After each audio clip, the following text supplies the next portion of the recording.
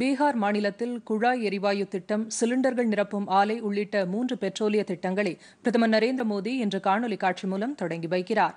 பீகாரில் புதிதாக அமைக்கப்பட்டுள்ள இரண்டு எரிவாயு சிலிண்டர்கள் நிரப்பும் ஆலைகள் மற்றும் பாரதீப் ஹால்தியா துர்காபூர் குழாய் எரிவாயு திட்டத்தின் துர்காபூர் பங்கா பிரிவு ஆகியவற்றை பிரதமர் தொடங்கி வைக்க இருப்பதாக மத்திய அரசின் செய்திக்குறிப்பு தெரிவிக்கிறது. இந்த நிகழ்ச்சியில் பீகார் முதலமைச்சர் நிதிஷ்குமார் உள்ளிட்டோர் பங்கேற்கிறார்கள். இந்தியன் ஆயில் நிறுவனத்தால் துர்காபூர் பங்கா குழை எரிவாயு திட்டம் நூற்று தொன்னூற்று மூன்று கிலோமீட்டர் தொலைவுக்கு கட்டமைக்கப்பட்டுள்ளது.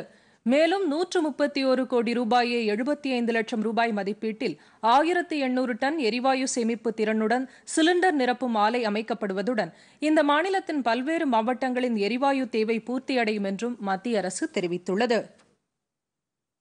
பொதிகை செய்திகளை யூடியூபில் தமிழ் நியூஸ் தூர்தர்ஷன் என்ற சேனலிலும் முகநூலில் டிடி பொதிகை நியூஸ் என்ற பக்கத்திலும் ட்விட்டரில் டிடி நியூஸ் சென்னை என்ற பக்கத்திலும் இன்ஸ்டாகிராமில் டிடி பொதிகை நியூஸ் என்ற பக்கத்திலும் காணலாம்.